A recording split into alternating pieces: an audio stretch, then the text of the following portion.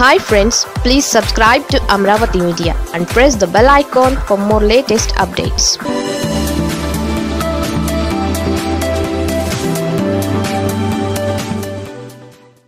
అన్నగారి సొంత జిల్లాలో టీడీపీ పరిస్థితి ఎలా ఉందో చూసారా ఏపీలో ఎన్నికల ఏడాదిన్నర దాటేసింది. అధికార వైసీపీ దూకుడు మరింత పెరిగింది.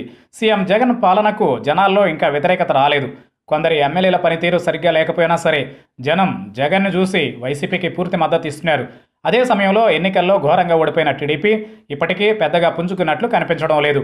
చంద్రబాబు నాయకత్వంలో జగన్ ప్రభుత్వంపై చేస్తున్న పోరాటాలు పెద్దగా ఫలితం ఇచ్చినట్లు కనిపించడం లేదు. టీడీపీ చాలా జిల్లాల్లో దారుణమైన పరిస్థితినే ఎదుర్కొంటోంది. ముఖ్యంగా కంచుకోటగా భావించే కృష్ణా జిల్లాలో టీడీపీ గడ్డు పరిస్థితే ఎదుర్కొంటోంది. మొన్న ఎన్నికల్లో జిల్లాలో టీడీపీ రెండు ఎమ్మెల్యే సీట్లు ఒక ఎంపీ సీటు గెలుచుకుంది.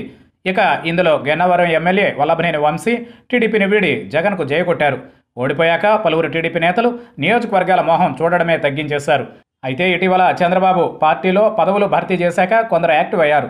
అలాగే గన్నవరం నియోజకవర్గానికి బచ్చుల అర్జునుడిని ఇన్ఛార్జిగా నియమించారు.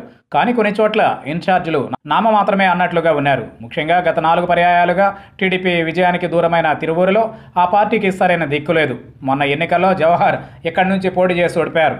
ఓడిపోయాక ఈయన తిరువూరు మొహం చూడడం లేదు. ఈయన తన సొంత నియోజకవర్గం కొవ్వూరుకు వెళ్ళిపోవాలని చూస్తున్నారు. అటు నూజివేడిలో ముద్రపోయిన వెంకటేశ్వరరావు పెద్ద యాక్టివ్గా లేరు. ఇటు విజయవాడ వెస్ట్లో ఓడిన జలీల్ కుమార్తె షబానా విదేశాల్లో ఉన్నారు. దీంతో ఇక్కడ సరైన నాయకుడు లేరు. అటు పామర్లో ఉప్పులేటి కల్పన ఉన్నారో లేదో ఎవరికీ అర్థం కాదు. ఆమె వద్దని సొంత పార్టీ కేడరే చెప్పేస్తుంది.